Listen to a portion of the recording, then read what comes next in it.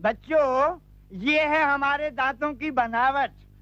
दांतों और मसूड़ों को ठीक से साफ़ न करने से इसका असर पूरे शरीर पर होता है। इन्हें स्वस्थ और मज़बूत रखने के लिए हमें सुबह शाम दांतों की सफ़ाई करनी चाहिए। राजू तुम्हारे दांत तो मोतियों जैसे चमक रहे हैं। क्यों ना हो मास्टर जी?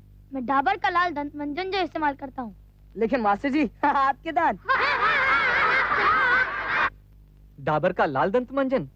ये बहुत ही अच्छा है मास्टर जी। हाँ। सभी इस्तेमाल कर रहे हैं। धन्यवाद। मास्टर जी आप? तुमने कहा था ना अब मैं भी डाबर का लाल दंत मंजन इस्तेमाल करूँगा। दांतों की करे हिफाजत मोती सा चमकाए